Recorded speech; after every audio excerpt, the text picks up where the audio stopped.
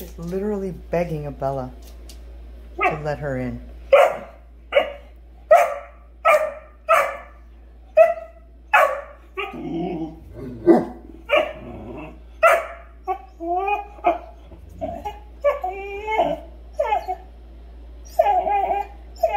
Oh, Bella, she's begging you. She's begging you. Just let her in one time.